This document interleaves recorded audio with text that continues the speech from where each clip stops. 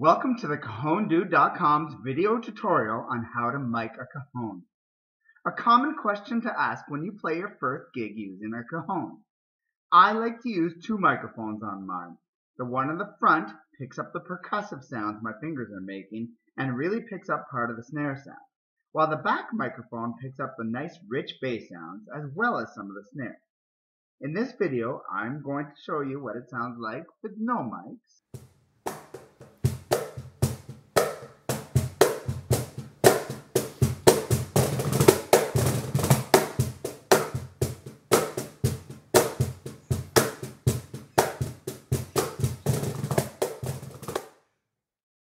Now here's what it sounds like with both microphones.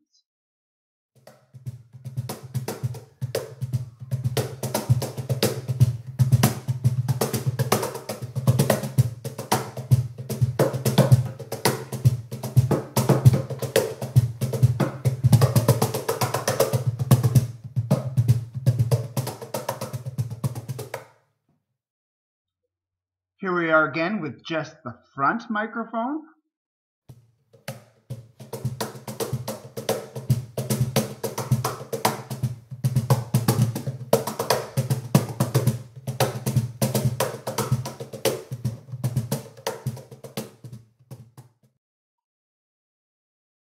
And finally, just the rear microphone.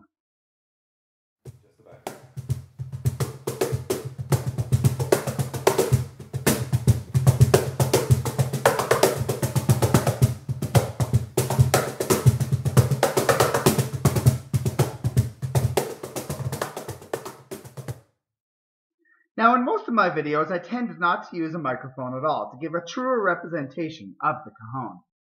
As far as microphone positioning for the rear microphone, I like to place the microphone sideways, a few inches away from the sound port.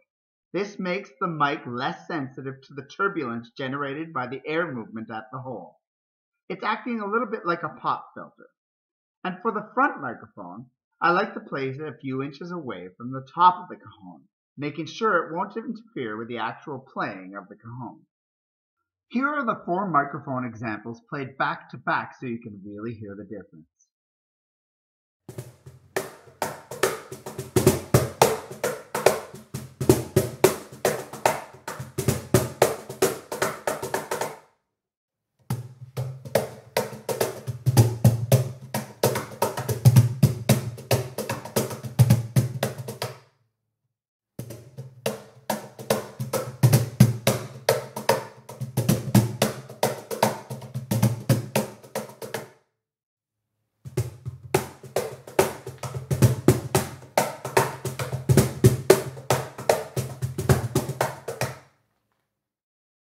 Thanks for watching. Stay tuned for more Cajon videos at thecajondude.com.